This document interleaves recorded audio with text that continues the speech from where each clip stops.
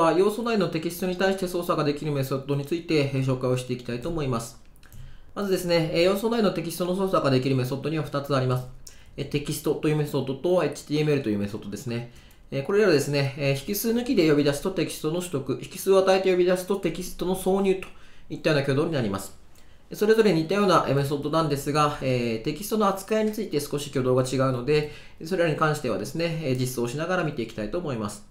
もう一つですね、フォーム要素の値についても操作ができるメソッドがありまして、バルというものがありますので、これについても紹介したいと思います。ではですね、まず、このような HTML を準備をしてください。一つはですね、タイトルという ID を持つ div 要素の下にですね、h1 タグとその中にですね、Hello World というテキストが入っています。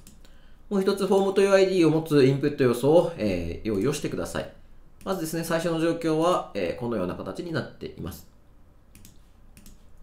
ではですね、まず、えー、テキストというメソッドから見ていきましょう。このタイトルという ID を持つ div 要素のテキストを、えー、取得したいたいと思います。えー、タイトルを、えー、セレクターで指定してですね、これに対して、えー、テキストというメソッドがを呼び出します。するとですね、このタイトル ID を持つ div 要素の中にあるテキスト要素のテキストなので、この Hello World という文字列が取れてきているはずです。ではですね、コンソールに出力をしてみましょう。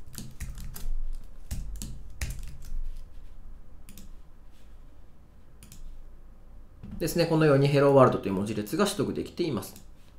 ではですね、これをテキストメソッドではなくて HTML メソッドを呼び出してみます。するとですね、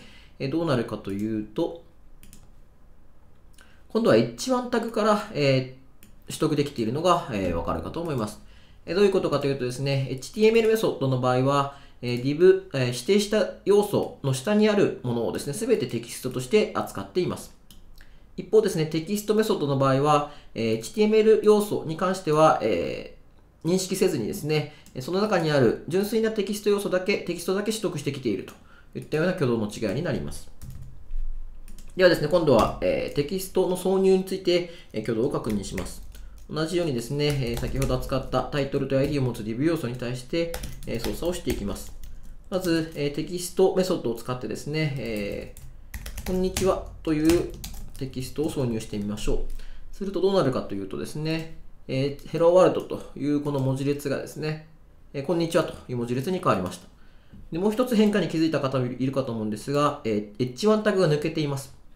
どういうことかというとですね、えー、テキストメソッドを使って引数を与えると、えー、指定した要素の下にですね、何があろうとですね、これは全てを、指定して、えー、与えた引数で置き換えるといったような挙動になっています。ではですね、HTML メソッドを呼び出すとどうなるかというと、これもですね、変わらず、えー、テキストメソッドと変わらずですね、えー、こんにちは、与えた引数で全部置き換えているといったような挙動になります。ではですね、何が違うかというとですね、えー、今度は与える引数の中にですね、HTML 要素を入れてみましょう。するとですね、HTML メソッドに対してこのような文字列を与えた場合どうなるかというと、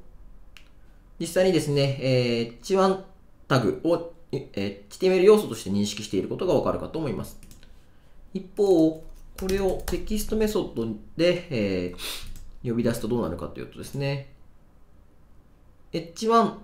として、H1 要素はですね、HTML 要素として認識せず、これも含めてテキストとして扱われているのがわかるかと思います。どういうことかというとですね、テキストメソッドの場合は、与えて、与えた引数が何であれですね、すべてテキストとして扱う。HTML メソッドの場合は、与えた要素の中に HTML 要素がある場合はですね、それを実際に HTML 要素として扱ってくれるといったような挙動の違いになります。似ていますが、それぞれこのような違いがありますので気をつけてください。もう一つですね、えー、val というメソッドについても紹介します。今度はですね、えっ、と、インプット要素に対して、えー、操作をしていきます。ですね。これの val というメソッドを呼び出すと何が出てくるかというと、この value という属性に与えられている値が、えー、取得されます。これもですね、えー、コンソールに出力をして挙動を確認しましょう。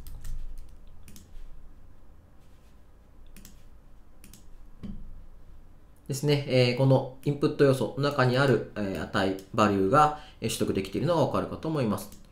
この val というメソッドもですね、引数に文字列を与えると、この値で、